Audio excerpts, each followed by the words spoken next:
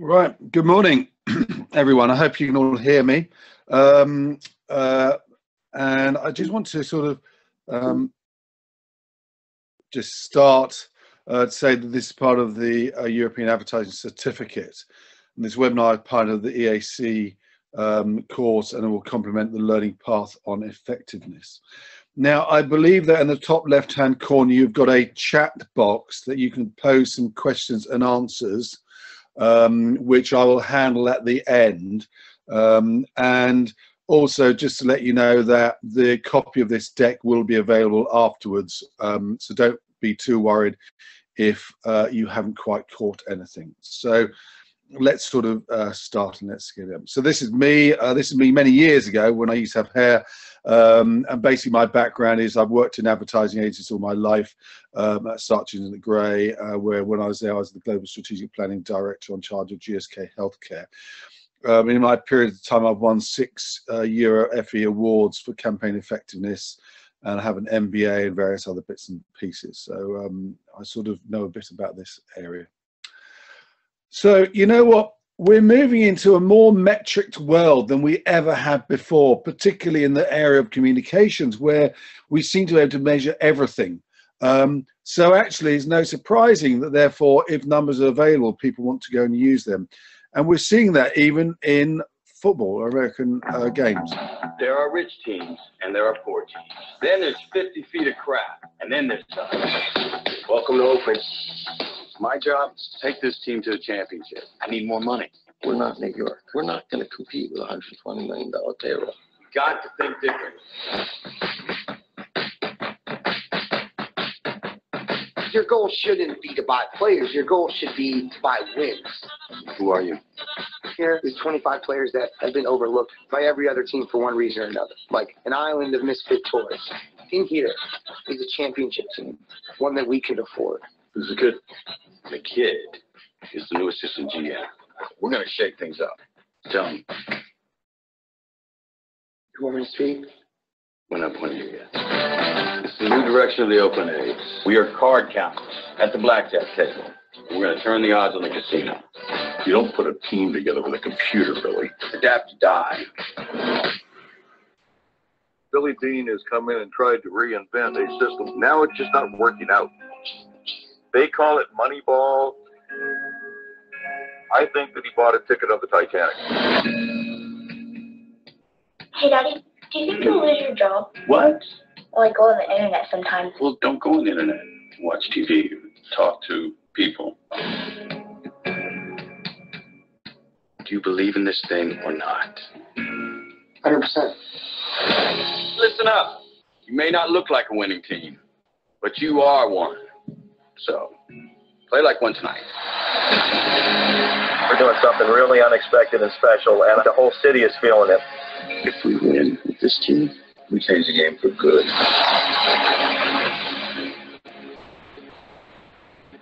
It's better work. I'm just kidding.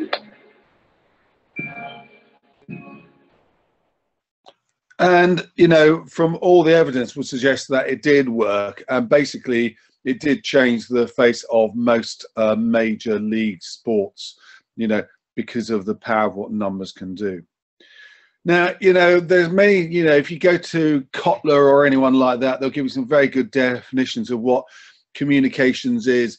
But at the end of the day, it's all about money. You know, no one's spending any money unless they're going to get money back you know? So actually we mustn't lose sight of the fundamental role that communications is is to generate profit.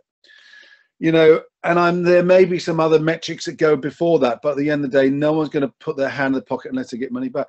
And the trouble is that the advertising world by and large has come away from being at the top table. And the truth is if we're just seeing as being grown up people with coloring pencils in our in our top pockets, then as such, we are going to be misperceived. And therefore, no wonder they're going to devalue the amount they're going to be prepared to pay for it. So it's absolutely incumbent upon every single agency, be it a digital agency or be the you know, the old-fashioned advertising agency, to demonstrate the added value they make to their client's business. And only then can you then have a justified place to be heard and a way to actually drive greater revenues for your for your agency. You know, and actually the reason is because it's changing at the client end as well. You know, we are seeing a massive shift over, over at the client end, you know, and this just sort of really depicts what we're seeing over there. Jerry? Yeah, what, what, what can I do for you, Rod? You just tell me what can I do for you? It's a very personal, very important thing. Hell, it's a family matter. Are you ready, Jerry? I'm ready. Well, to make sure you're ready, brother. Here it is. Show me the money.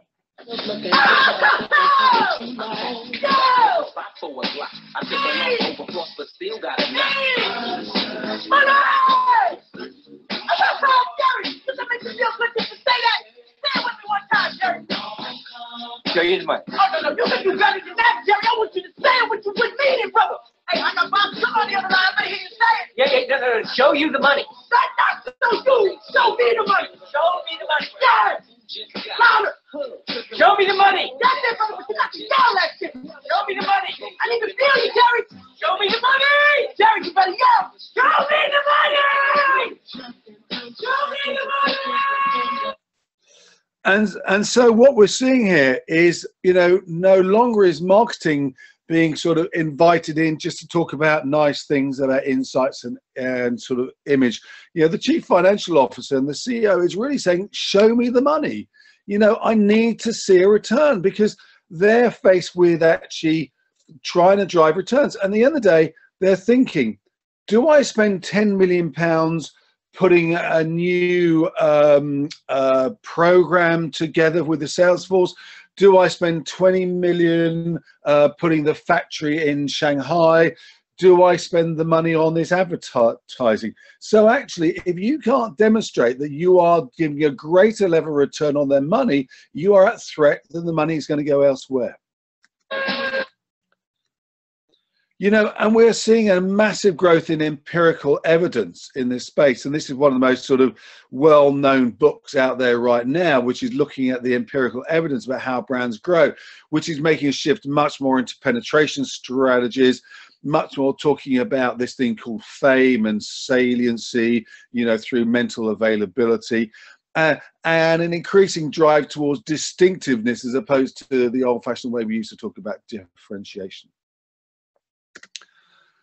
You know, and why is it so critical? It's so absolutely critical because, you know, in the old days, the value of an organization was based upon tangible assets. You know, the the, the amount of stock which they had in their in their back room, the amount of cash in the bank, their machines. And these days, intangible assets, which is mainly the brand, is actually the biggest factor which is driving the valuation of an organization. So therefore, brands sits at the very heart of company value creation.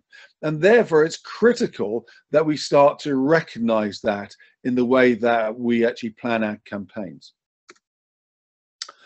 So moving on about how you demonstrate that. So that's all good stuff to start with. How do you demonstrate it? Well, you know, here's the top line. The very first thing is everything is down to your objectives. So you've got to put time into clearly defining your objectives and be very clear what is the specific role of your communications plan you're working on? And then actually work out in advance how you are going to measure that before you get there. Then actually one of the things you've got to do which is rarely done except in these effectiveness papers is really prove it's not down to other factors. And then you've got to show an inextricable link from your activity through to sales. Because you did that that happened that happened that happened and then that happened and what we know is that whenever you read any of these great case histories, either for the EACA or for Cannes or for um, the IPA, they are wrapped in a compelling story, which brings the figures with them. And but the most important thing is you've got to start early on this. You can't leave it until two months before the the submission date. You've really got to plan this from the very start and you shouldn't be planning it just to write a case history. You should be planning it because that's your way of getting extra revenues next year. So let's go through what each of those in turn. Prove your case against the agreed objectives. And clearly, we've got different levels of objectives. You've got your business objectives, which sit at the very top the sales, the share, the profit, etc. You've got your marketing objectives, which are going to be something like to do with penetration, maybe some loyalty if you're still going down that line, yeah, pricing e- uh, elasticity or what we call about inelasticity because you don't want it to be flexing um, when actually you put the price up. Distribution gains because many people are using marketing to help drive their gains to drive that physical availability. And then underneath that comes your comms objectives, you know, and obviously everyone's talking about fame these days, you know, but it's about awareness, it could be about education, it could be about image shift, it's some activity, e.g., a download, a call. So actually, what we've got to be very clear is what are we trying to do? And only when you got those can you then actually then be able to actually measure against it. And that's where those old-fashioned smart objectives come into place. Because actually only when you put numbers onto it, all too often I see cases where it says like sales increase, but by how much? You, we need to benchmark this. We need to benchmark it either by competition or benchmark it versus our past sales in the past years. And what we're then going to do is to make sure it ladders up. So actually it goes from the comms objective because we've changed awareness is therefore led to that penetration gain, which therefore led to actually that share build. And that then helps to make sense of what we're doing. Because everything's got to be going back to that North Star about what they're trying to do. They're trying to drive sales or profit or whatever is the overarching commercial objectives of the organization. And then you've got to prove it's not down to other factors because the truth is sales are going to happen anyway. People are suddenly not going to stop buying your product. And what we've got to do is we've got to talk about incremental sales, not just business as usual. And we've got to look at all the other factors, some of which are in control and some are out of our control. So has distribution changed? Maybe that uh, kind of it. Has there been a big price drop? There's been lots of promotions. What's the competition doing? Have they dropped their amount of activity or they increased the amount of activity? Maybe you bought a new product launch out. Yeah, maybe there's some big event, either you know when the Olympics comes along, it completely changes the game, if you excuse the pun. You know, there could be PR activity, either negative or positive. You know, there could be an overall category rise. So if you are in doing, um, say, a cough medicine, well, actually, if there's an increase in flus or colds, then actually you're going to see your your sales be going up. So nothing to do with your marketing activity. You know, there could be some seasonality stuff, there could be weather, political events, etc. So all these things come in, and you need to therefore start to track this to be say it wasn't due to that because that didn't change. It wasn't due to that because we accounted for that bit. And therefore, we've got to show that link through to sales. And we tend to use this model as like, who did we reach? How many people did we engage? Did they do something? What was their outcome? What was their behavior? And what was the result that came about it? And it just helps give us a layering upon what we're trying to go and do. So a few techniques to help. One of the key things we do is use comparisons. And you do comparisons over a number of different things. You comparisons region versus region. This region had the activity, that region didn't have the activity. And be it a region in a country or versus country versus country. It might be an advertised period versus a non-advertised period, before or after, or a year on, that stuff. Or it may be that you look at the sales of an advertised product versus a non-advertised product. Or maybe you're going to be doing like campaign one versus campaign two. So lots of different ways. And one of the things maybe, you know, the idea about having a dark region and a non-dark region. So, you know, as we can see in the example below, we've got where Sensodyne, one of the pros I worked on, you know, was running one campaign. It sort of certain level lift, and then sort of much bigger lift be, behind the dentist testimonial campaign. And for those who did no advertising activity, we saw a drop. And obviously, econometric model is the go-to standard, the gold standard, because it helps can do lots of different things. And obviously, the trouble is it takes about 36 data points, it takes a lot of money, but actually, it is very effective at doing lots of different things and helping to tease out the exact effect.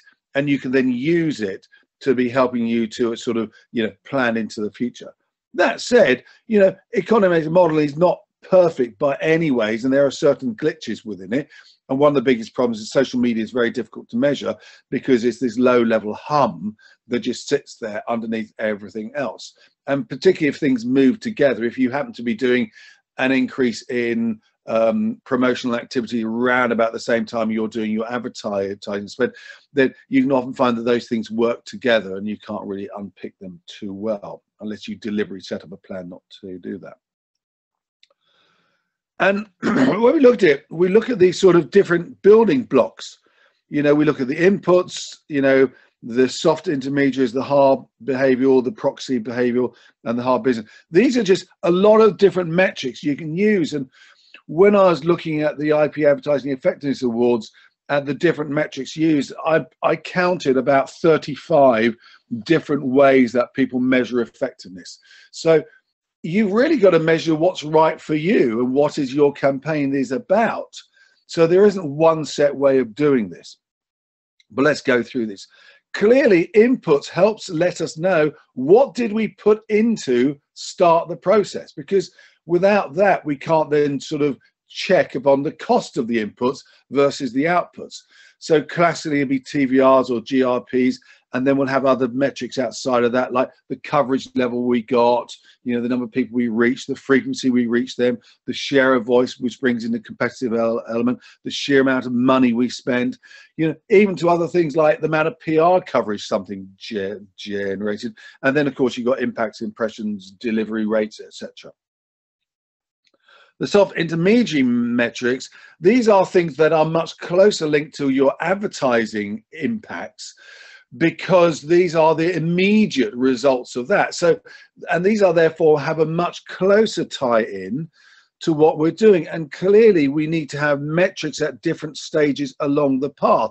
So, we need the ones which are very close because very little gets in the way at this point. Whilst when you get to share and profit, so many other factors are coming into play.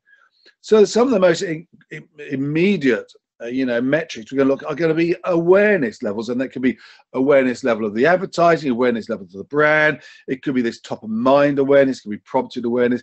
So we've got to be very clear what exactly what we mean and we've got to make sure we're measuring at the right time because you can only really measure awareness on a pre and a post.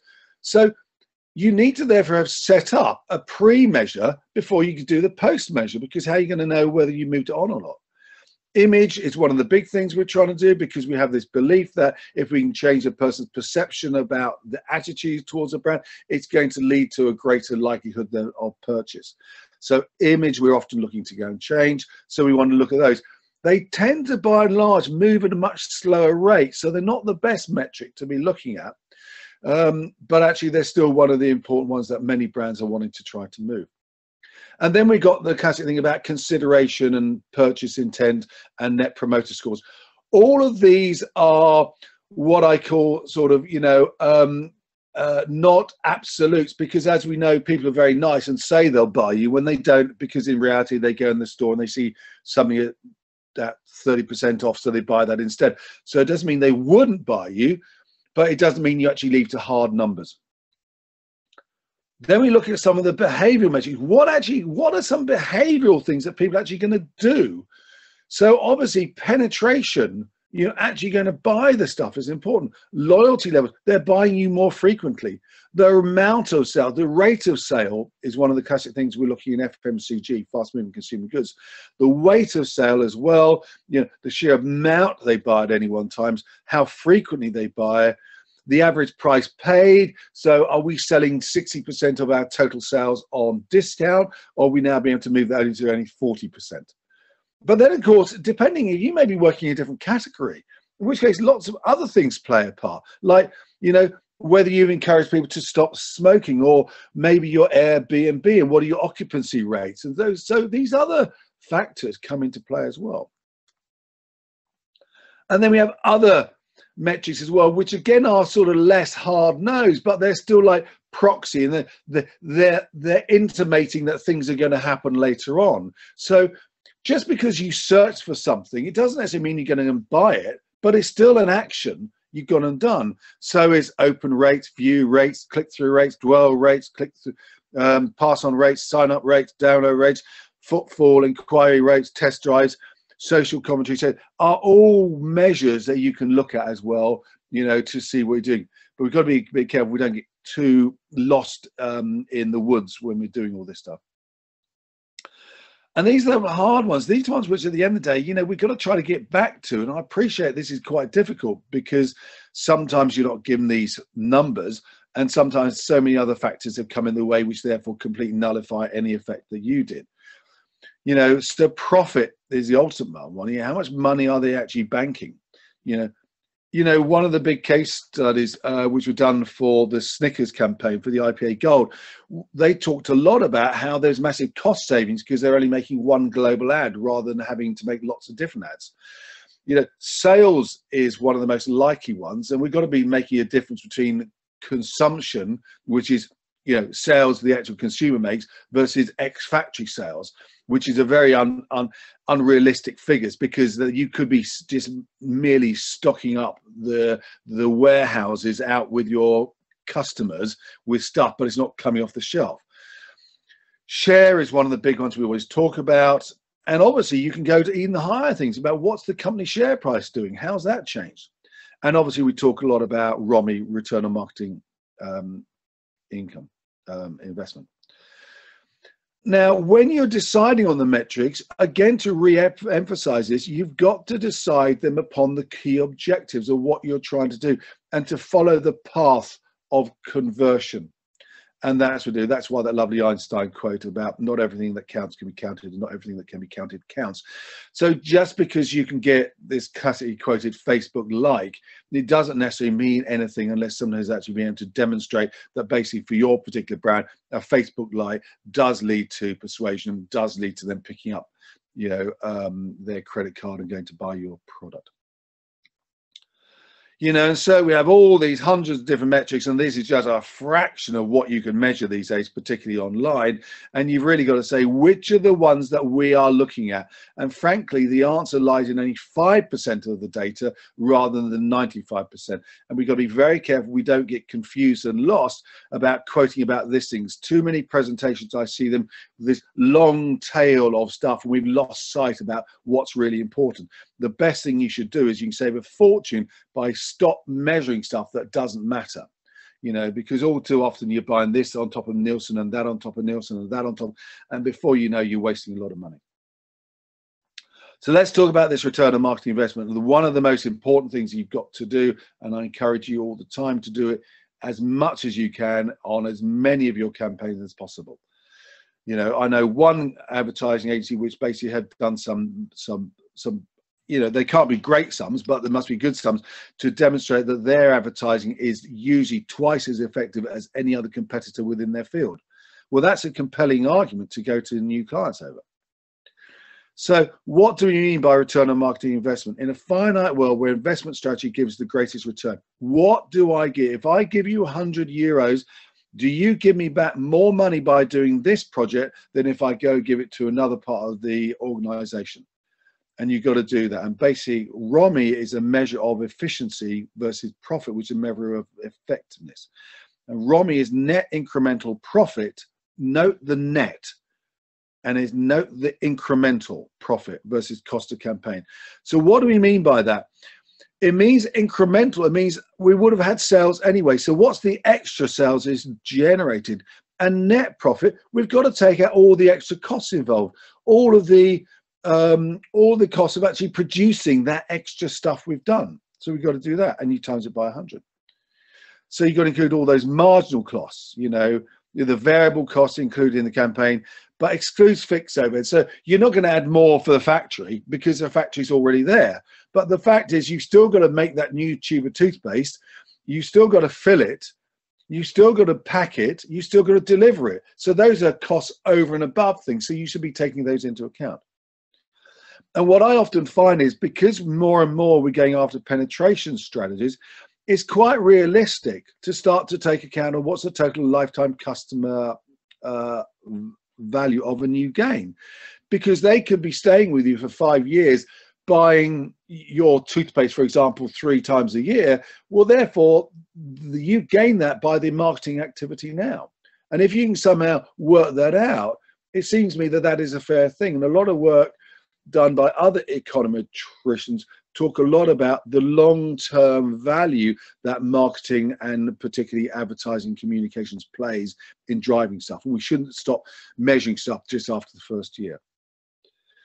So here's an example. I won't go through it. I'll leave you to download it, look at it later on because you can sort of see how it all works. But this gives you some very basic sums so you work out what, what you've got to go and do. And lastly, I want to is some recently quoted profit return on marketing investment figures, which are being published through the IPA Advertising Effectiveness Awards. So you can see you got like up to where one pound invested in the John Lewis campaign in 2016 generated eight pounds 79 in profit. So it not only paid the one pound back, but it also gave eight pounds 79 pence worth of pro profit down to some four pound figures, some four, some three pound figures, some two pound six and one ninety. The truth is, if you earn more than um, probably at this stage three percent, so even if it goes down to 103, that's still more than you get if you put it into the bank. Now, frankly, I'm sure there are other projects an organization could do which is even better than that, but that's really what you're going to want to go and do. So, in summary, you know, what I've said is like ROMI is king. You've got to make sure that you are demonstrating your return on marketing investment. That said, I would say that ultimately you've got to be very careful with ROMI because the ROMI is basically a calculation that can be basically gamed.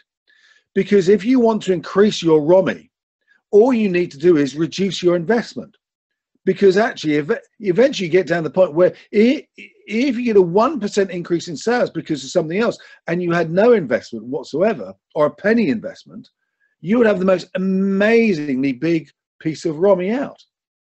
So you've got to be a bit careful about that.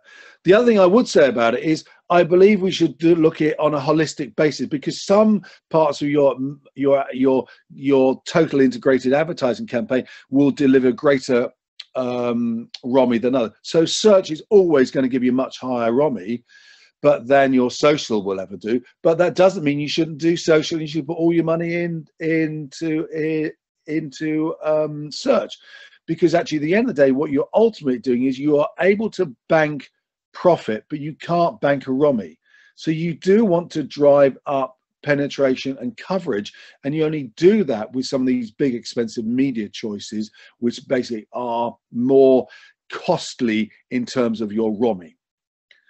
You've got to prove your case against your objectives. Objectives is everything until we know exactly what you want to go and do. And you can't change your objectives halfway through. And why we need to metric this is because, frankly, if your campaign is not delivering against your set objectives, you've got to change your campaign. You've got to change your strategy to make sure you're hitting what you want to hit. And then you've got to prove it's not down to other factors. And I always like to show an inextricable link that because I did that, that bit of awareness led to that change in image. That change in image led to actually um, people going into doing more test drives, shall we say, and because of doing test drives, we saw an in incremental number of cars being sold, etc. My last point is gather your data early, because if you don't, you will be stuffed about this stuff, and you need to spend money upon getting that data in. So really, that's all, folks. So now I'm now going to look at any questions uh, that you posed, just to see if there's anything here.